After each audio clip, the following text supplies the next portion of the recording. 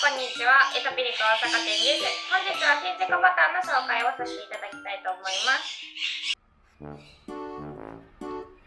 天竺バターの女の子です。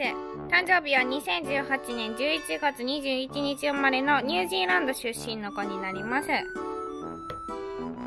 とっても陽気な性格で、リズムに乗って遊ぶのも大好きな女の子です。で、顎下をカキカキされるのがとっても大好きです。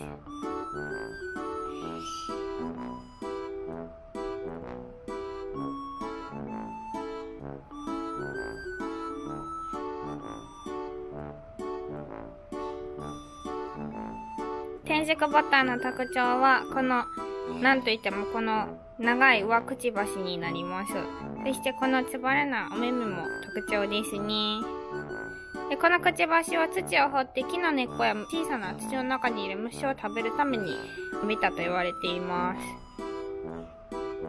ね。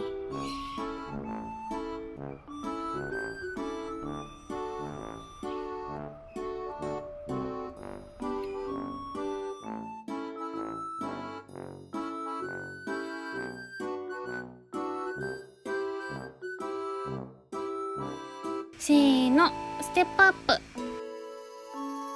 少しよろけながらですができました。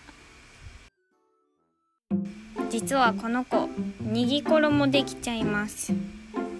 ゴロゴロしながら私のエプロンで遊んでいますね。まるで箱入り娘のようです。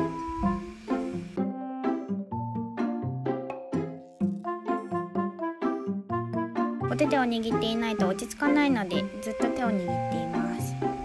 そんなところもとっても可愛いですね。